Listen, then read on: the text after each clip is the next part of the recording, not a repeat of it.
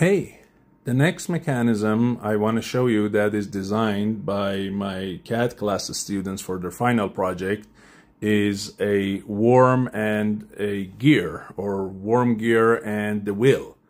So this is what you can see in lifting or hoisting mechanisms like a crane.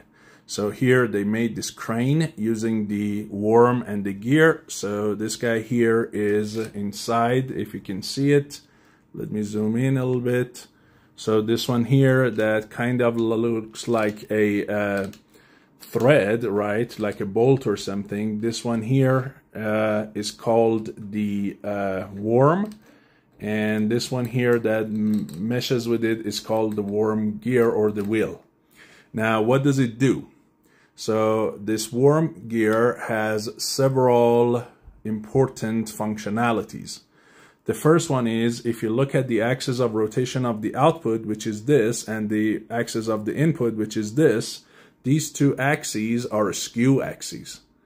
Okay, so it uh, transfers power between two skew axes.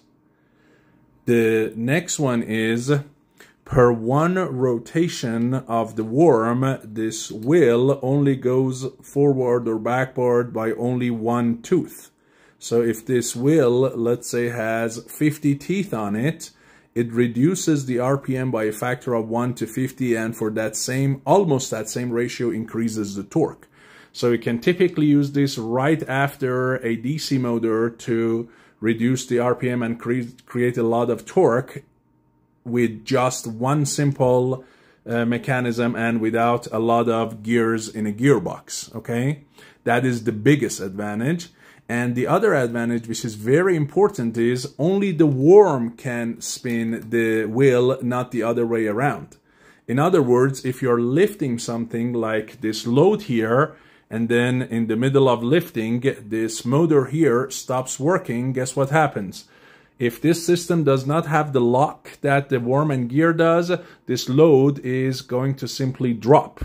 But because this load is connected to the wheel and the wheel cannot backdrive the worm, this load is going to be kept locked up there and does not drop. So this system is motorized. You can turn it on and off and you can move it forward and backward. So let's go ahead and basically lower it, right? So you see we can lower it and you can see that here it is perfectly locked. And then we can what? We can go ahead and lift it like this. So hopefully you like this worm gear and learned about its uh, functionalities. Thank you.